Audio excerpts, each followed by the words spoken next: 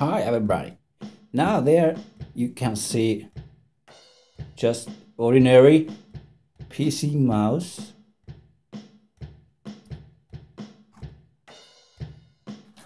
Except uh, I did a little bit hacking to it. So this left button got an extra wire. Problem that this mouse does have that this plastic is quite stiff and that micro switch isn't much easier either. So clicking takes quite significant amount of force with one finger. So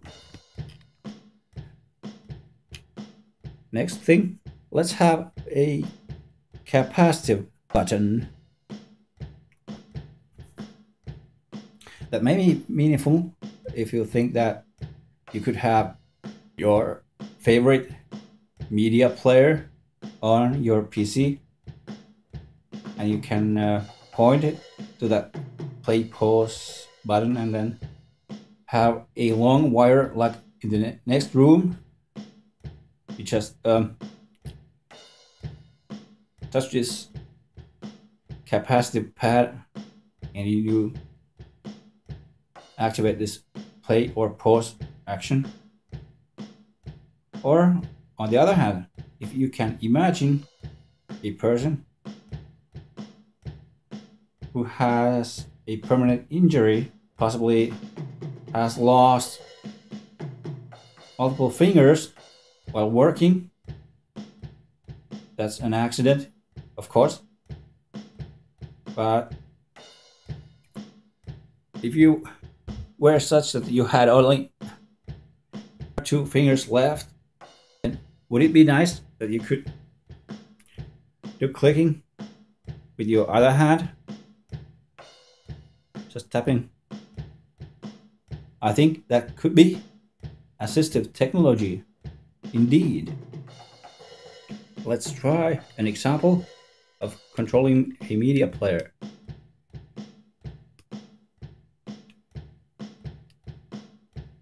There.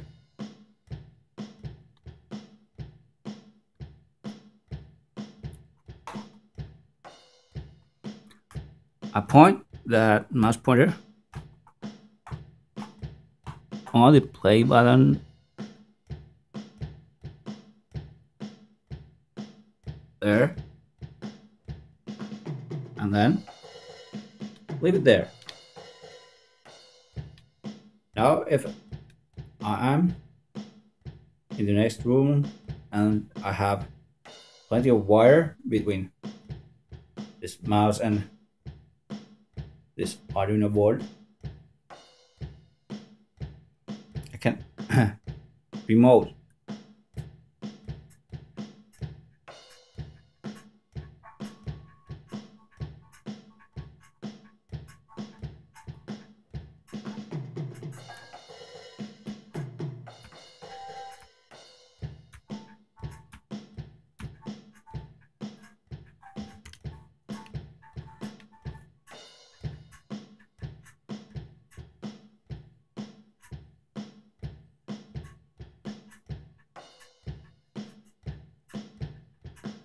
like that. Then, how about ordinary desktop use?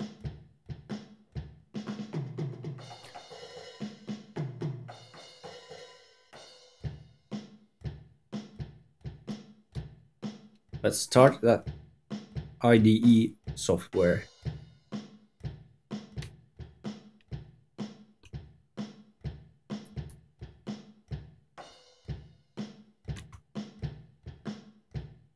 Look. Yeah, that's my source code.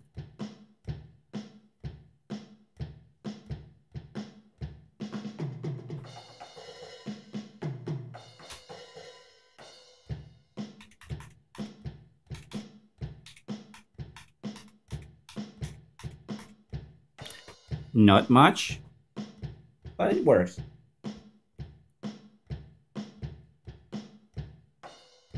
And what if I change focus to this another window. Just one click. There. Let's point back. Yeah, that's a click. Close this. That's a click. And it doesn't need physical strength to do that click. There's something you should consider for a short moment. Thanks for watching. That's it.